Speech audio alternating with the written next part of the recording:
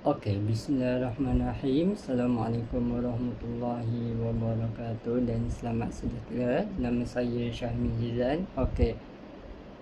Di sini saya akan menceritakan serba sedikit ataupun secara ringkas dari episod ke episod insya-Allah iaitu filem Pendekar Bujang Lapuk.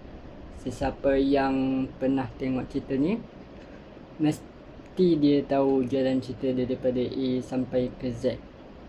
Khasnya orang-orang yang dah berumur ataupun tak kira lah sesiapa yang minat dengan filem ini.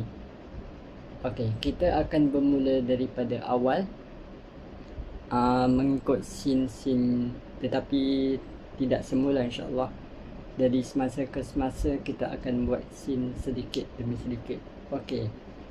Scene yang pertama adalah kita tahu dia bermula pada waktu siang dan di atas penambang. Penambang ni dalam cerita tu uh, tempat sampan lah orang naik sampan dan sebagainya. Okey. Ia berada di sebuah penambang kelihatan sebuah sampan penuh dengan penumpang menuju ke arah seberang sungai. Okey. Yang kedua, siang dan dia punya ni adalah dalam sampan. Sebuah sampan dipenuhi penumpang kelihatan pendayung kepenatan mendayung sampan ke arah penambang itu wajah para penumpang yang penuh kesabaran dalam sampan menunggu sampan sampai ke penambang seberang sungai. Pendayung terus mendayung sampan penambang. Pen, pendayung terus mendayung sampan itu ke arah destinasi yang dituju dari dalam sampan ke arah penambang yang bertentangan kelihatan orang ramai sedang mengerumuni di sekitar tangga penampang penampung menanti giliran untuk menaiki sampan yang hampir sampai. Sampai. Okey seterusnya. Kelihatan orang ramai penuh sesak di atas penambang. Setiap pekerja penambang begitu serius dan bengis menguruskan para pelanggan mereka yang ingin mendapat perkhidmatan pengangkutan. Okey, ini yang pertama. Syarif. Syarif yang dilakukan oleh Syarif Dul. Wajah Syarif tiba-tiba bangun dari kerusinya sambil menepuk-nepuk meja beberapa kali dengan keras dan bengis. Lalu pekerja-pekerja penambung kelihatan kelam kabut. Syarif berkata, Rahim! Terus menulis ke belakang. Rahim! Rahim! Dia terus menepuk meja bertambah kuat. Rahim muncul di celah-celah orang ramai dan terus menghampiri Syarif yang ketika itu masih menepuk meja seperti berang. Tergesa-gesa Rahim. Apalah kau ni? Syarif berkata keras. Sampan datang dah. Lepas Rahim berkata, Iyalah. Sambil lewa macam meluat memandang ke arah Syarif Dole sambil memegang tudung saji iaitu topinya. Rahim terus berlalu dari meja Syarif dan menuju ke arah orang ramai yang berpusu berasak di tangga penambang. Rahim terus memukul-mukul rambang ke tubuh orang ramai yang berada di situ menggunakan tudung saji iaitu topinya. Rahim dengan berkata keras, Oi, apa kau orang berkumpul-kumpul ni ha? Rahim terus memukul-mukul orang ramai di atas penambang dengan tudung kepalanya bersama-sama rakan-rakannya yang lain iaitu tudung saji kecil.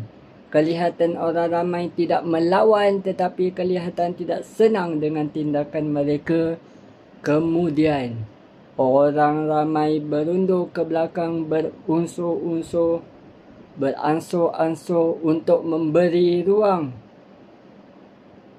Penumpang yang baru tiba menaiki sampan daripada seberang sungai bertentangan penambang tersebut. Sudah Maji dan juga Ali dia berkata, mereka berkata keras sambil memukul dan menolak. Beratur, beratur, sudah Maji dan rakan-rakannya terus berlega-lega memastikan orang ramai dapat dikawal. Okey, itu scene yang pertama. Kita tengok scene yang seterusnya. Pendayung iaitu Mat membelakangi kamera yang menampakkan penambang di mana orang-orang sedang berpusu-pusu menanti kedatangan sampan yang semakin hampir itu siang, scene yang seterusnya, wajah-wajah orang ramai satu persatu yang mereka mulai berebut untuk menaiki sampan yang kini telah menghampiri di tangga penambang. Kemudian tiba-tiba muncul Rahim membelakangi kamera. Dia terus memukul-mukul orang ramai dan diikuti rakan-rakannya yang lain.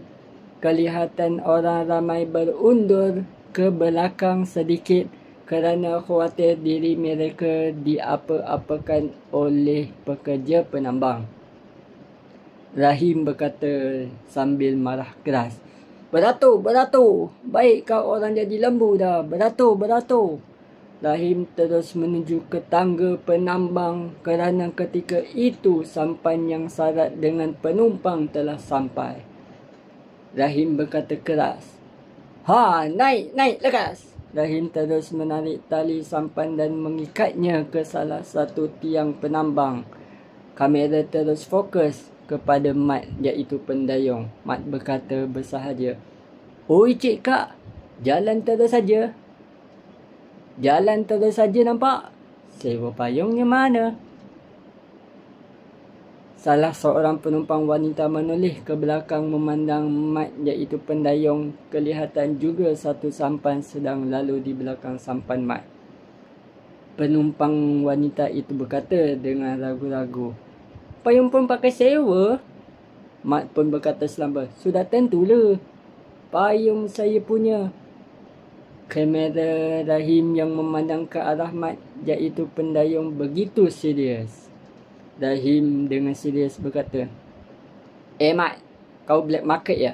Nanti aku kasih tahu Toki. Tahu.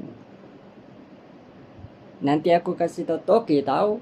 Mat memandang ke arah Rahim. Yakni cuba mempertahankan pendapatnya.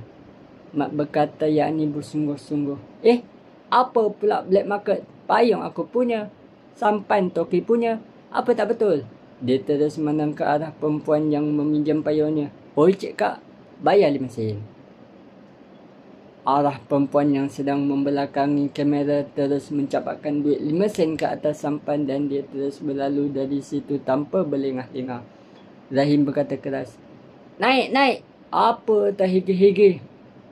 Rahim menunggu di depan tangga sambil menadah tapak tangannya menerima duit tambang yang diserahkan oleh setiap penumpang yang naik ke penambang dari sampan. Tiba-tiba ada di antara penumpang yang bayar kurang dari harga sebenar. Rahim tiba-tiba meradang. Eh, eh, sepak baru tahu. Selesai lagi lah.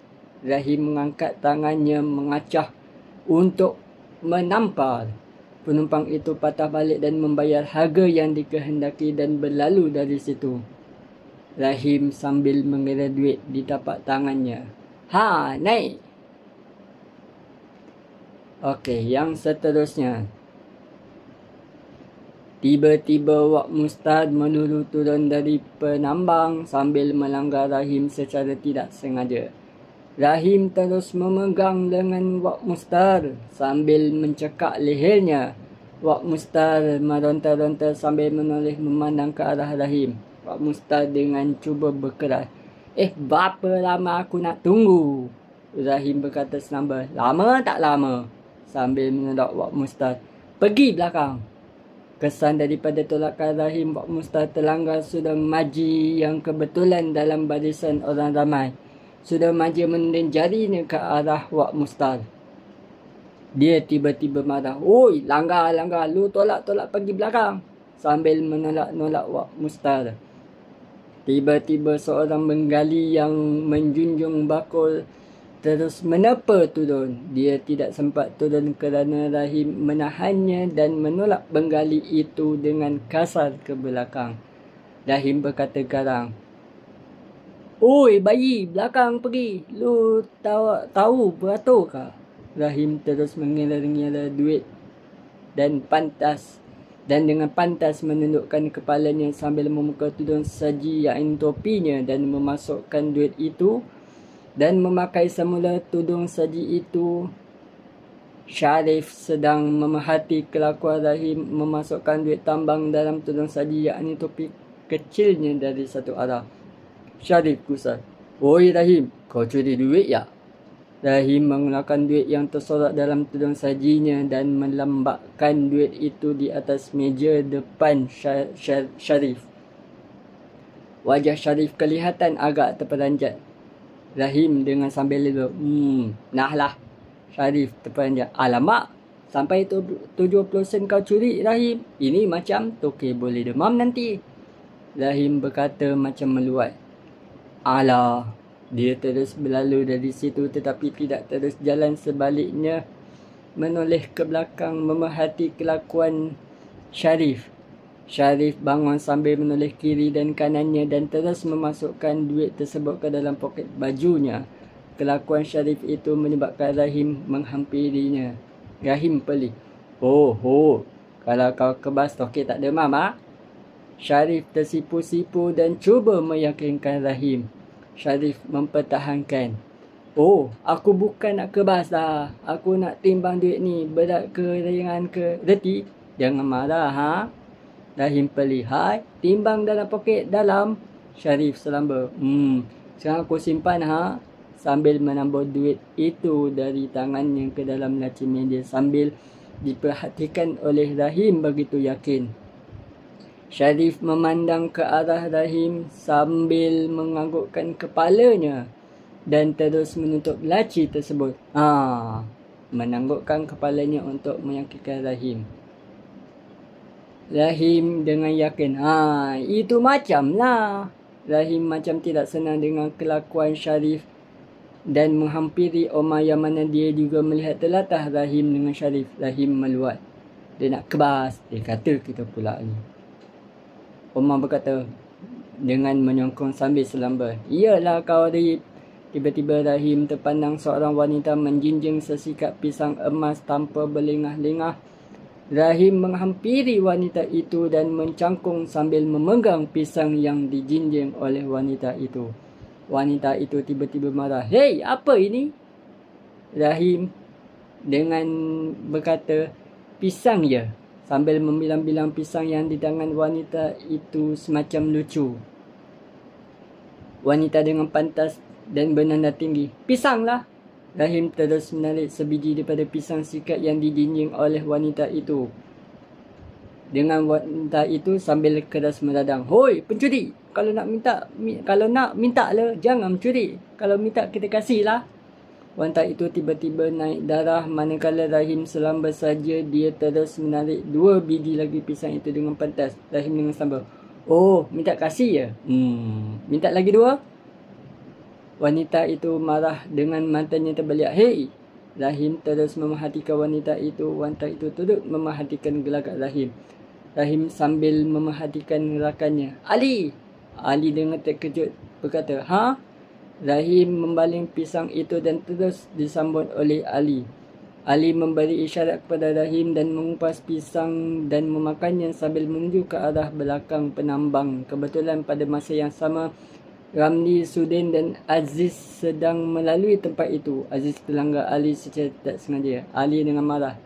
Apa jalan tak nampak orang ke? Langgar-langgar ke? Apa jalan tak nampak ke? Langgar-langgar ke? Ramli, Sudin dan Aziz hanya memerhatikan tingkah laku Ali itu. Ali Tapi lah nak kena tepuk sekali sambil mengangkat penumbuknya. Mereka hanya berpandangan sama sendiri sambil beredar, beredar Aziz Ramli dan Sudin terus memerhatikan gelagat Ali. Mereka terus duduk di sebelah tepi dinding penambang itu. Kelihatan orang ramai sedang lalu lalang di kawasan itu dan Ramli kemudiannya bermain alat muzik yang dibawanya, yakni seruding. Sudin mengusik Ramli untuk melihat gelagat seorang pekerja penambang yakni Ali yang melihat beberapa penumpang yang datang di penambang itu. Seruling dimainkan terus. Ali yakni sambil berkata. Sambil berkata dia menghampiri mereka. Apa khabar pakcik? Apa khabar makcik? Apa khabar makcik Timah?